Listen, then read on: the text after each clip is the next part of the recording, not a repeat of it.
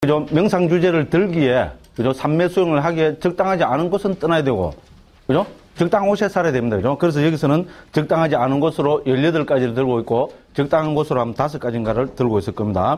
그래서 상식적으로 보면 됩니다. 그래서 여기서 핵심은 뭡니까? 제 1번에서 뭘 이야기하고 있습니까? 제일 첫 조건이 스승이죠. 그죠? 그러니까 스승과 같이 살면은 제일 좋겠죠. 스승과 같은 성원에서, 그죠? 같은 절에서 살면은 항상 의문이 있을 때는, 그죠? 지도를 받을 수 있고, 나태에도 경책을 받을 수 있고 그렇습니다. 그래서 스승이 사는 곳에 살아라. 이 말입니다. 그죠? 그래서 이제 여기서 스승과 같은 사원에서 사는 것이 편하면 그곳에서 명상주제를 분명하면서 살아야 한다. 그래, 만약에 편하지 않고 여건이 안 되면 어떻게 됩니까? 가까운 곳에서 살아야 되겠죠. 그래서 4분의 1유순이면 1유순은 여기서 그죠? 7마일 좀 거리라 합니다. 우리 요잔하거든요. 원어는 요잔이고 중국에서 유순으로 옮겼습니다. 요새 그걸 보면은 그죠? 7마일 정도 거리고 요새 그걸 아마 11km쯤 되겠죠. 그죠? 1마일은 1.6km죠. 그죠? 예, 그렇게 계산해 보면 한, 한 11km쯤 되겠습니다. 그래서 4분의 1 유순이니까 한 2.6km쯤 될 겁니다. 그죠? 요새 뭐 2.6km면 가는데 한 전체 보통 걸어가면 한 30분 하면 충분히 갈 수 있는 거리입니다. 그죠? 가까운 곳이죠. 그죠? 그래서 해야 되고, 아니면 반유순. 그러니까 5.5km니까 요거는 뭡니까? 한 15리. 그죠? 정도 되는 거리. 그것도 안 되면 1유순. 이런 이야기 나도 하겠습니다. 11km니까 한 30리 같으면 하루에 빨리 가면 한, 한 2시간 하면 갈 수 있는 거리죠. 그죠? 만일에 1유순 안에도 안 되면 어떻게 됩니까? 그, 그 넘어라도 해야죠. 그죠? 근데 그 넘으면 하루에 갈 수 없는 거, 거리가 되겠죠. 그럴 때는 그 밑에입니다. 맨 마지막 줄입니다. 그죠? 그러나 인류수 내에도 편히 살 곳을 얻지 못한 자는 명상주의에 대해서 어려운 점을 모두 해결하여 명상주제를 아주 분명하게 하고 명상주제를 확고하게 전향하고는 더 먼 곳으로 가도 된다. 이런 이야기는 나도 하겠습니다. 맞죠? 그러니까 어떻습니까? 명상주제를 갖고죠. 되도록이면 서성 가까이 살아라. 뭐, 우리 상식적으로 봐도 너무 당연한 이야기입니다. 그 다음에 적당하지 않은 사원으로 18가지 들고 있습니다. 들 읽어보면 전부 상식적입니다. 18가지 허물 중에 하나를 가진 됐죠. 이번에서 전체적으로 밝히고 있고요. 3번에서는 큰 사원에 살지 말합니다. 왜? 각가지 목적을 가진 여러 사람이 모입니다. 됐죠? 그죠? 여러분, 뭐, 뭐, 뭐, 뭐, 뭐, 뭐, 안내도 해야 되고, 접대도 해야 되고, 복잡합니다. 새로 지은 사원은 안 됩니다. 왜? 일거리가 많아서. 하, 저는 왜 이게 좋고요? 저는 정말로, 그죠? 예. 아까, 네. 떠드는 건 괜찮은데, 그죠? 일, 뭐, 울력한다고 운짜면 들어가면 그때부터 허리가 아파요. 왜 그런지 모르겠습니다. 낡은 사원도 일거리 많습니다. 그죠? 수리해야 됩니다. 그죠? 길가에 있는 사원은 뭡니까? 밤낮으로 객들이 붐입니다. 맞죠? 그죠? 수행 못 합니다. 약수터에도 사람들이 모이듭니다. 야채가 있는 곳에는 엄마야 나물 캐는 여자들이 모인다 했습니다. 꽃덤불이 있는데도 마찬가지입니다.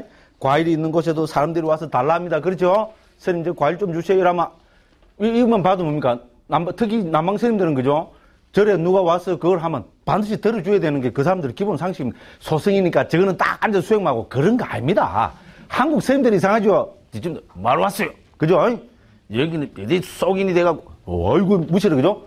선빵 문고리 잡으면, 그죠? 뭐 사막도로 면한 데서 선빵 문고리 한번 잡으러 들어가면 어떻게 됩니까? 큰일 납니다. 예, 뭐 스님들이, 뭐, 에이구, 뭐, 에이. 저는 안 그랬어요. 옛날에 선빵 살 때. 됐죠? 어쨌든 그렇습니다. 그죠? 그래서요, 유, 명한 사원에도 하면 어떻게 됩니까? 자, 이분은 아란이다 해서 뭡니까? 줄을 쫙 서갖고 있습니다. 수행 못 합니다. 도시 부근에 있으면, 아, 뭐야, 이성이라는 대상이 있다 했으면, 들어본 게 뻔하죠? 사람 많은 데는 명상 주제 못 듭니다. 맞죠? 여자들 많이 오는 데는 더군다나 더 그렇습니다. 예, 또 뭐 당연한 이야기입니다. 삼림 부근에도 사람이 많이 옵니다. 경작지 부근에도 뭡니까? 사람들이 많습니다.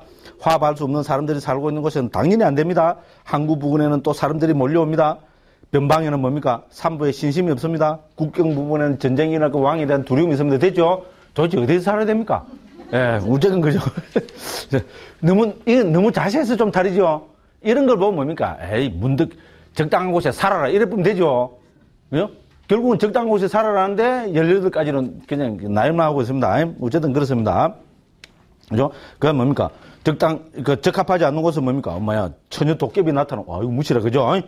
뭐맨 밑에 보십시오. 17번 맨 밑에. 스님 나는 당신 같은 사람을 한두 명 사람 먹어 치운 것이 아닙니다. 어이구 무시라. 요새 말로 뭡니까? 음습한 곳 있죠. 그죠? 뭐, 뭐, 뭐 성황당 비슷한 뭐 그런 데 있죠. 그죠? 그런 데 가서 앉아있으면 수행되겠어요? 안 된다. 이런 이야기입니다. 그죠? 그래서 선우들을 얻지 못하는 곳. 좋은 스승을 없는 데는 그죠? 뭐, 그, 당연한 이야기입니다. 그 다음에 적당한 사원 다섯 가지를 들고 있습니다. 상식적입니다. 너무 멀지도 가깝지도 않고 낮에는 거의 붐비지 않고 밤에 소리나 음성이 거의 없고 그냥 이런 데가 세상에 있나 그죠? 팔이 목이 뼈- 뼈- 접촉이 거의 없고 필수품이 잘 그죠? 구비되고 어떻게 됩니까? 많이 배우고? 큰 스님이 살고 계시고 아이고 뭐 이런 데서 나도 가겠다 그죠? 근데 이거는 경을 인용했습니다. 그죠? 그 뒤에 보면은 가로 해갖고 A, V 돼 있죠? 이거는 거처경이라는 겁니다. 경 숫자로 보면 안구 따라 니까야 열의 모음의 열한 번째 경입니다. 그 경 이름은 거처경입니다.